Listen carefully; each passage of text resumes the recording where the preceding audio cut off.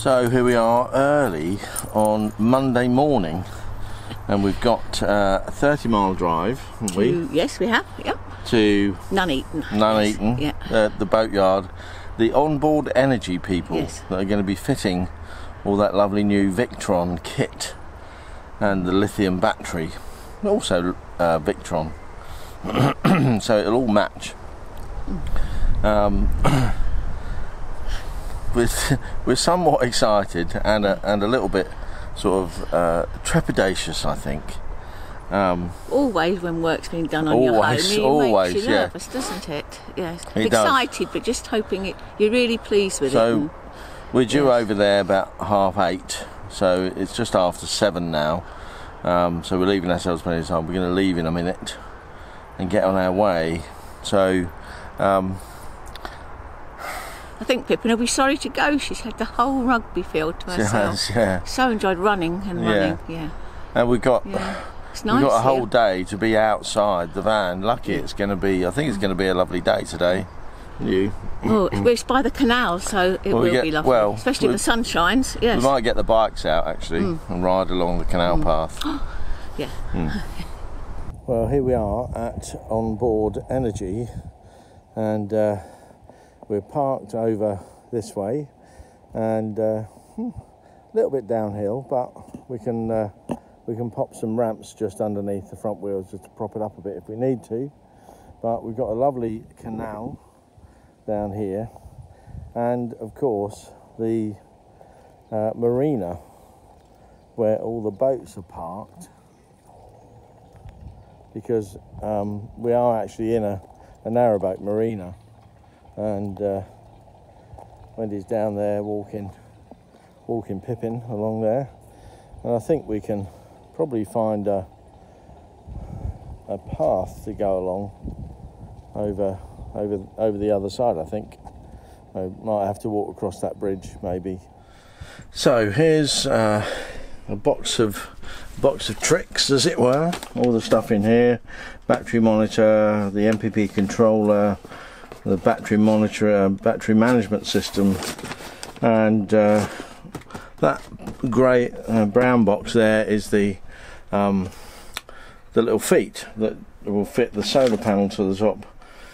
Fuses and connectors and all sorts of stuff, little bits and pieces, and then um, yet to come into the van is the Victron Multi Plus.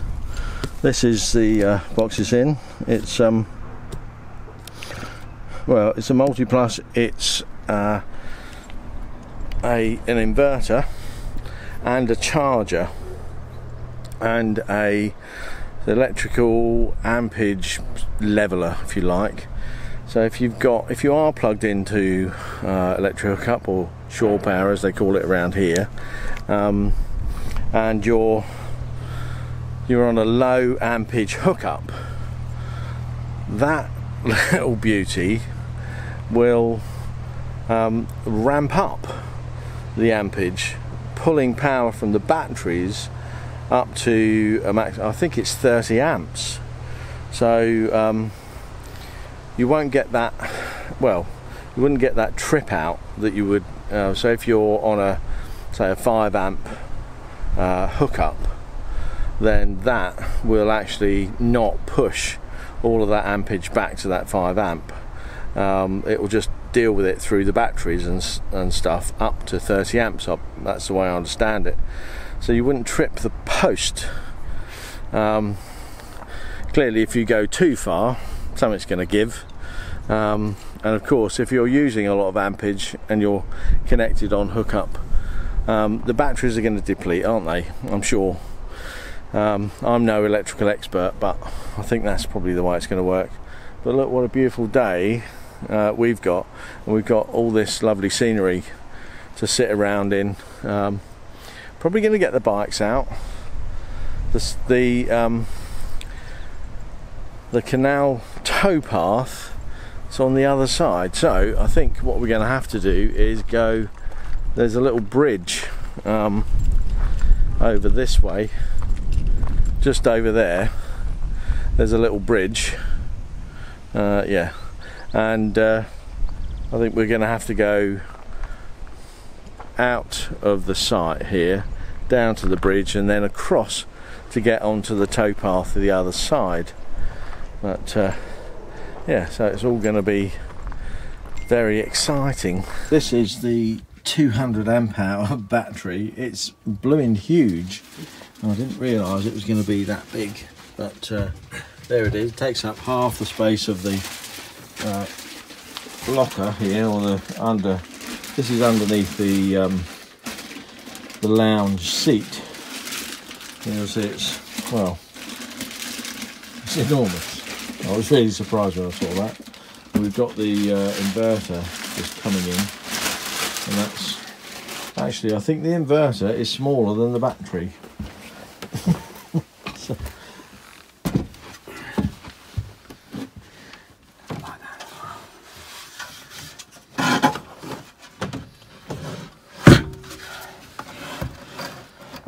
going to go there like that.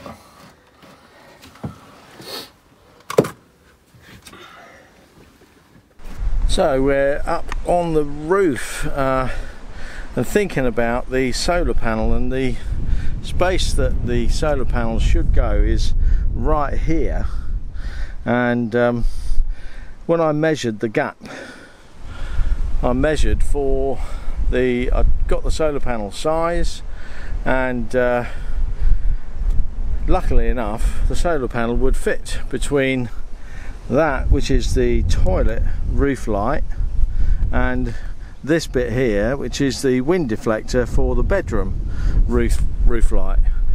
However um, the problem is that there are some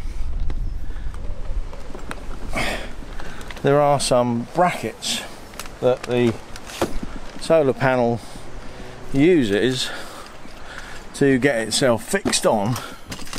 Um, and there actually there's a, a, bracket for each corner and then um, similar bracket for the sort of midsection of the panel. Um, I think the uh, the guy that's fitting it has taken them away, but um, they're sort of rounded edge uh, shaped, and uh, what that means is that uh, the space up there is not really big enough if we leave that wind deflector on. However, the wind deflector is by the time you get the solar panel on, it's only about that much bigger than the um, than the solar panel. So what I'm thinking of doing it well, what we're going to do is take the wind deflector off, and if necessary, just reattach and just cut it. So it, it it's sort of it's a, there's a flat base to it and a and a curved section. So I'm going to cut that curved section off and then maybe attach that to the side of the um, uh, of the solar panel so that it gives us that wind deflection if we need it. So we're nearing the completion of the um, lithium battery, the Victron inverter charger and all the solar panel stuff and the new charge controllers and um, what what we've got in uh, you know, we've got the Sargent control unit, but what I've done is I've put right, well, the guys have put right next to it the um, BMV 712 battery monitor, which is uh, actually telling me at the moment, where are we? Uh, 83 watts. We're getting off the off the solar panels. We're getting um, six and a half amps coming in uh, over and above whatever we're taking out of the batteries or the, the battery. So um, we've got one or two bits and pieces plugged in. Um, so we're taking a little bit out but we're getting um, yeah 6.4 6.4 6.38 something like that. So almost six and a half amps uh, of charge actually putting power back into the battery um, over and above what we're taking out. Now we've got um, we've got two solar charge controllers because on the back of um, the Sargent control unit there's uh, there was a um, an MPW uh, charge controller for the 100 amp solar panel that's just above the roof there but that is that was all connected up to the sort of smart charging sort of stuff um, where it would it would just charge the battery if it felt like it. It would always push charge into the battery and there's a, there was a danger that if we left that in it would push charge into the lithium battery um, when it wasn't really necessary and that can damage them or even um, be more drastic. Uh, so like catching fire and stuff like that if you overcharge you definitely damage them so um, we've taken it out and we've replaced it with this uh, 7510 uh, charge controller and we've taken if you can see just there we've taken the original wires from the solar panel at the top uh, out from the back of there and put them into the PV or the photovoltaic input, the solar panel input. Two, two wires out going back to the battery. So we've got this new uh, 7515 charge controller um, with the wires coming from the new solar panel and going back out to the battery, same as the other one. Um, they work in conjunction, uh, so but you can see them separately, and you can see that this this one, the 200 watt, puts in twice as much uh, ampage as this 100 watt, obviously. Um, now, uh, you'll see that the uh, the battery monitor there. This is a BMV uh, 712 Smart, so it has Bluetooth, and we've got six amps just dropping down. Oh, right. ah, I know why. Ha, that's dropping down because I have this plugged in to there, and that is uh, that's pulling um, probably yeah that's pulling out one amp. Uh, but I'm still getting that uh, six amps going in. Now down here we're not completely finished this yet but I'll just go run through what we have got. We've got the 200 amp hour lithium battery uh, this is the Victron uh, I think it's the Blue Power uh, Smart um, battery. Uh, well actually it's no it's got the um, it's not the Smart because it's got a battery uh, monitoring system just in the back there with the lights on. So that that helps us to know what the battery's doing individually if it had nothing else.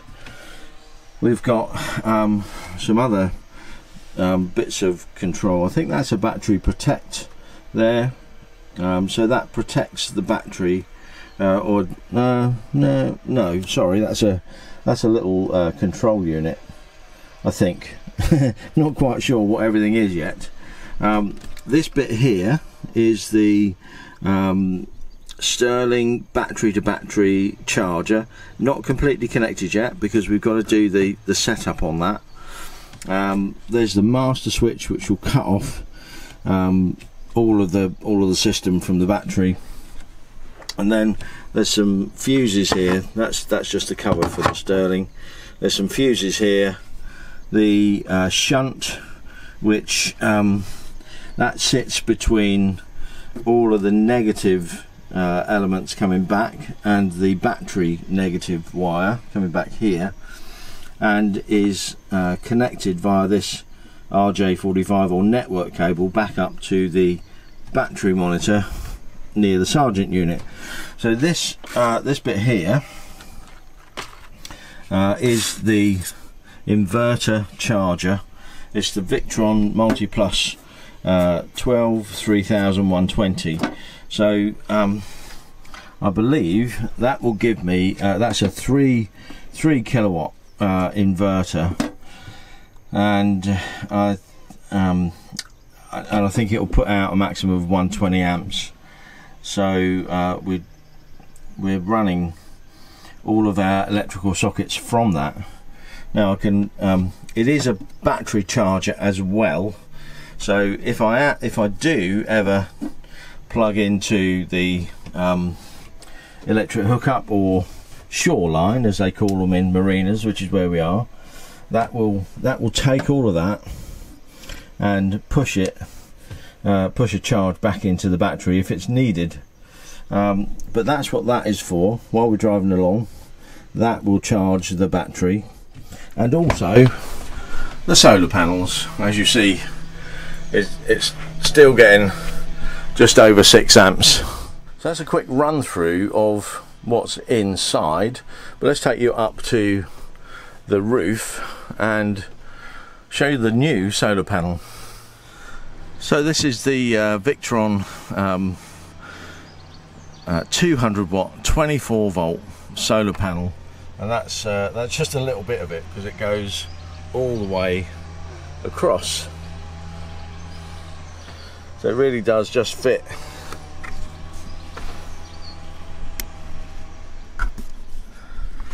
just just fits um, across and uh, in in place uh, between the the toilet uh, roof light and the bedroom roof light which is where we we're poking our head out.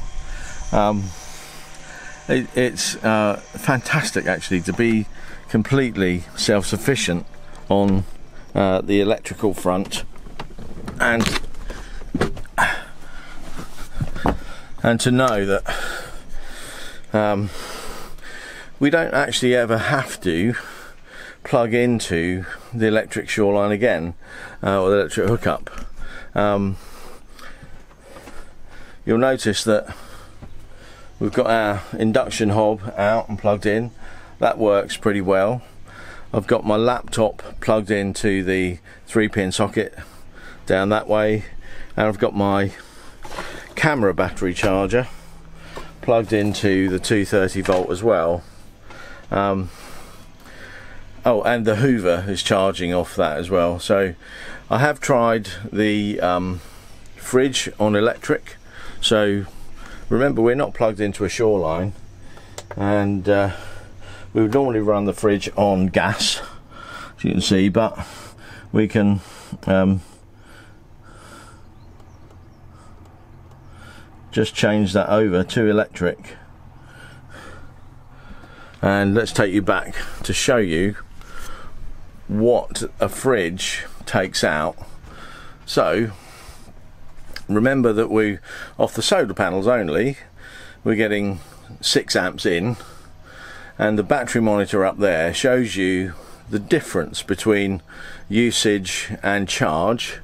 So we're actually using let's show you that a bit closer. We're actually using uh, let's just get that yeah. Almost. We're actually using almost 12 amps. So for every hour the fridge is on electric we'll use 12 amp hours.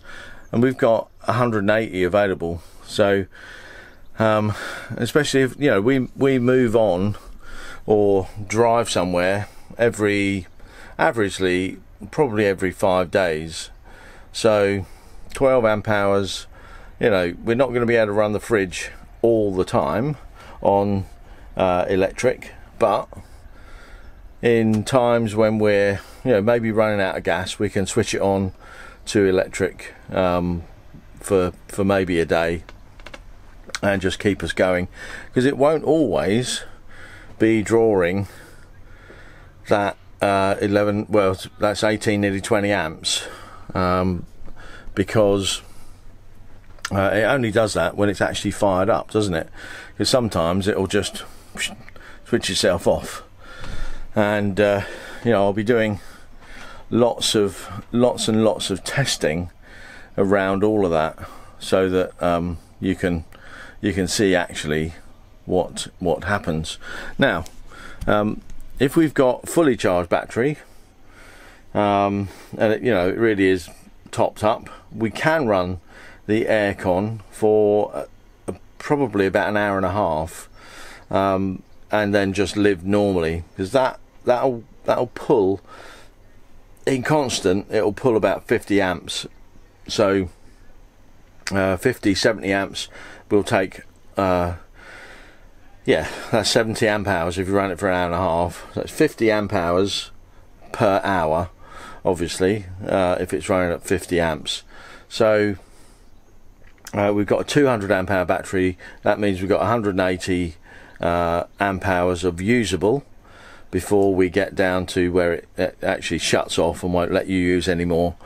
But um, you know if we're out during the day and it's really hot bearing in mind when it's really hot we will be getting a big push uh, of solar power coming in so and but I tested the solar panel at uh, about half past six last night, so the sun was fairly low in the sky. We were still getting a couple of amps in, um, and I and I judged it to be to be pulling about 50 amps. So when we're when we're full sun above uh, the van, um, we could probably run it there um, because we should we should be getting.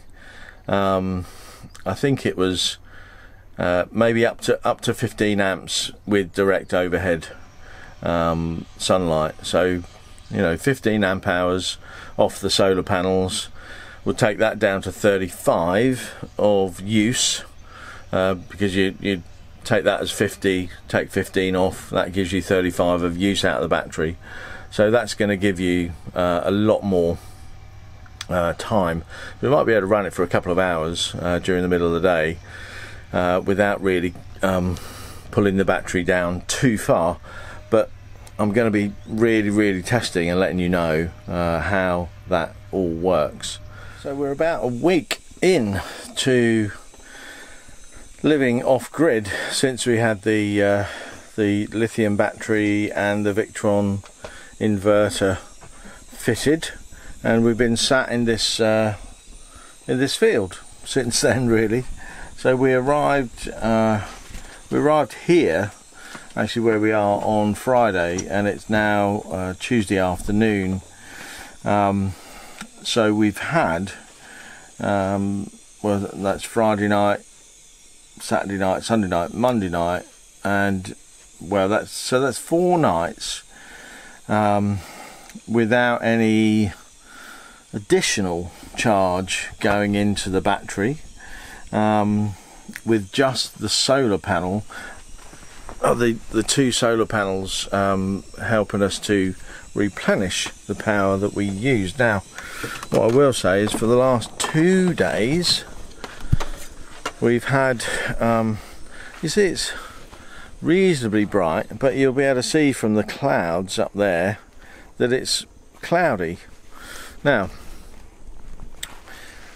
of course that's that sort of light is not going to keep it keep the lithium battery topped right up and we are using the power that's in there. Um, bearing in mind that we can drop as low as uh, 20% on on the battery. And we're I think it's what time is it now? So it's uh, it's almost exactly midday. Um, We've had better days than this. We've had worse days where it's been raining. Um, and no additional charge put into the battery. And we're still on uh, 40 41% uh, whereas 40, 41.5% um, now that was down further earlier this morning so we're still getting a reasonable charge in from the battery. Sorry from the solar panel. Um, but I just wanted to just show you um, the the final installation. So here it is. Uh, here's the whole installation I'm just going to run through quickly um, what we've done to get all this installed. And some of you will uh, if you've been watching over time will remember this uh, little fuse box that I put in um, ages and ages ago, and these extra two um, USB points uh, that are down in the back here So I've got the USB and the 12 volt socket there.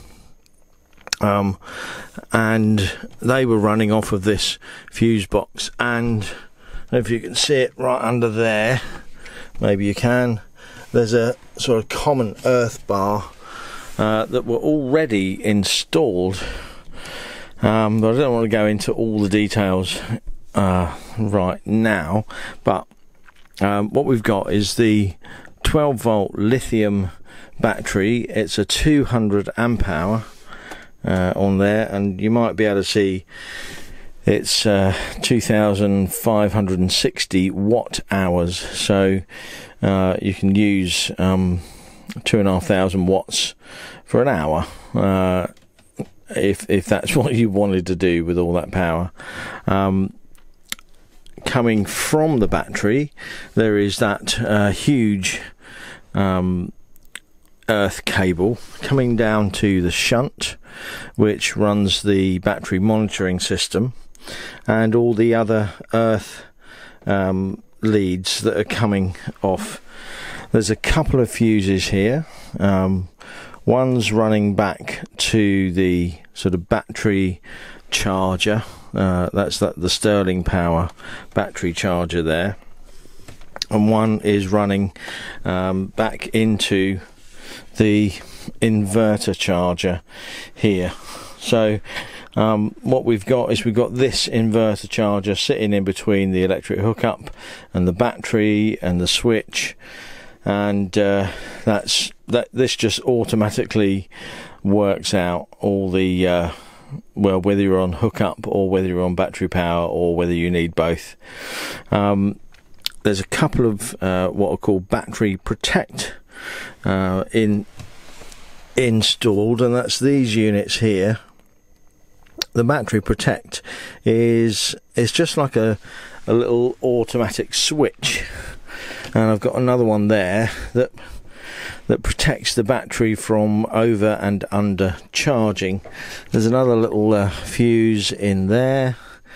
Um, and that's about it. This is the main on and off switch. So if I wanted to kill all the power from the battery completely, I just move that switch to off and everything else is switched off. Right in the back there, that little blue light thing there, that's the uh, the VE bus. Um, sorry, that's the uh, battery monitoring system. So that allows the battery monitoring to uh, be done.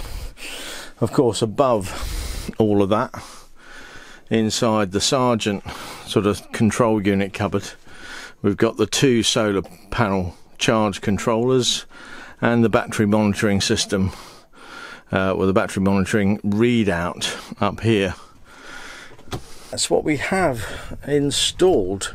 Um, of course, the uh, we've got the 100 watt solar panel just above the Sargent control unit. Um, that's the one that came with the van, and then we've got the additional 200 watt solar panel at the back uh, above the bedroom area. And uh, with, well, I think without the um, additional charge controller controlling the uh, 100 watt solar panel, we wouldn't be getting as much charge into that battery uh, as as we are now. I mean, even on a sort of fairly dull day like today, um, and let me just tell you what we're getting out of each panel because I, I, can see it on my phone on the app.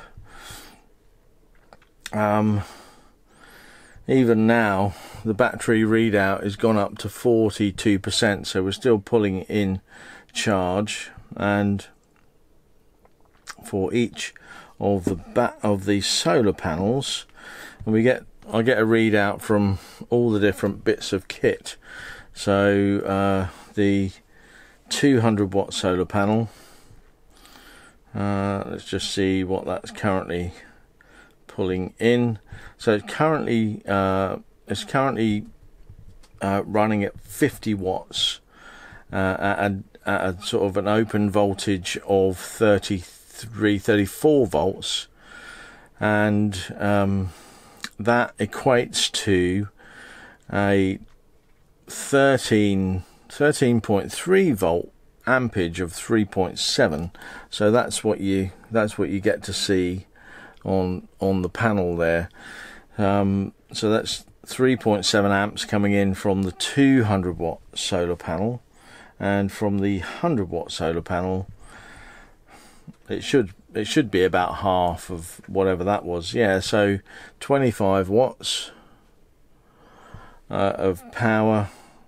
And that's a 12 volt panel. So one's a 24 volt panel and one's a 12 volt panel. So um, the 12 volt panel is giving off uh, 17 volts weirdly.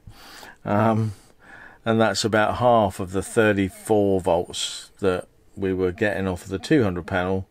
And again um, 1.7 amps.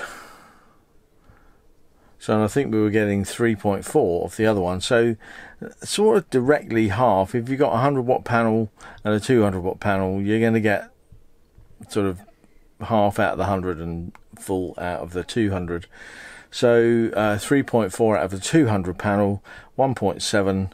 So that's going to be 5.2, uh, 5.1 amps coming in. So about 5 amps coming in. Um, and I think if I can go back and look at uh, the smart, because I get to see the little round um, thing in there, the uh, readout. Yeah so we we're actually using so I'm getting 5 amps in and the current I'm currently pushing through to the battery is just well it's 1.8 amps. So we're using I think we're charging up quite a bit of kit so we're using about 3 amps well um, the inverter on its own takes about one to one and a half amps um, when it's when it's on, and it is on all the time. So um, you know, if you were getting one and a half amps in on solar, you're a bit low on battery. You could switch the inverter off to give that a little bit of a boost. But there we are. So I think we're you know we're doing all right. We've you know we've had four days of variable weather and we've lasted pretty well. We are, um, I would I would say, voracious users of electricity. We always, you know, we've got a laptop, a 13-inch laptop, a 12-inch iPad, uh, two iPhones, a, a 10-inch iPad uh, to charge up. So there's sort of five devices. Then I've got the um, the camera batteries these these little camera batteries I'm not sure I can see what the what the draw on those is hmm. no uh, probably say on the charger wouldn't it yeah so yeah they're they're just short of a about a quarter of an amp uh, in 230 volt. And uh, um, about well about three quarters of an amp on uh, eight volts. Because they're, they're actually eight volt batteries. Weirdly, well, the charger is eight volt, but there we are, um, and we've got you know various bits and pieces on and going, and it's uh, it's a real it's a real learning curve as we go on to to find out how much we can use, how much uh, how much sunshine we need.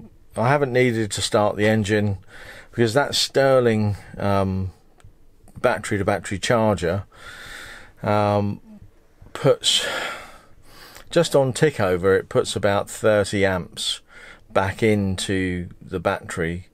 So um, if I left it running uh, for half an hour, um, I'd get about 15, 16 amps, 16 amp, uh, 16 amp hours back into the battery. And uh, you know, if we were really low, half an hour on, on tick over would give us an evening and and uh, right through the night worth of electricity. That's 16 amp hours. So um, yeah, I think we're doing all right. Anyway, I'm going to be doing more in-depth um, reviews of all of this, all of the kit, um, and what we use, and sort of you know going through the real nitty gritty of what we've got, why we went that route, and why we've got it, and how it's working. Um, overall, I'm pretty pleased